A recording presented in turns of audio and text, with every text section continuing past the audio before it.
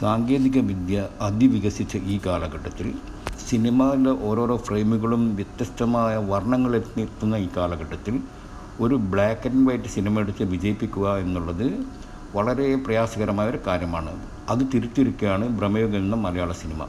എന്ന സിനിമയുടെ വിജയത്തിലെ ഏറ്റവും പ്രധാനപ്പെട്ട ഒരു കാരണം തന്നെ അതിന്റെ ക്യാമറ വർക്കുകളും ഫ്രെയിമുകളും തന്നെയാണ്. പതിനേഴാം നൂറ്റാണ്ടിൽ നടന്നൊരു കഥ. അതേ രീതിയിൽ അതിന്റെ പശ്ചാത്തലം ഒരുക്കിക്കൊണ്ട് ദൃശ്യവിസ്മയം നൽകിയിരിക്കുകയാണ് ഇതിന്റെ പിന്നിലെ സംവിധായകൻ ക്യാമറമാനും.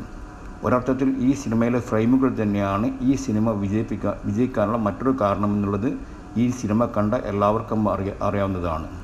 ഉദ്യോഗജനമായ ഓരോരോ സീനുകളും അതിന്റെതായ രീതിയിലുള്ള കളറും ഫ്രെയിമും കൊണ്ടുവന്ന് വിജയിപ്പിക്കാൻ പറ്റുന്നതാണ്.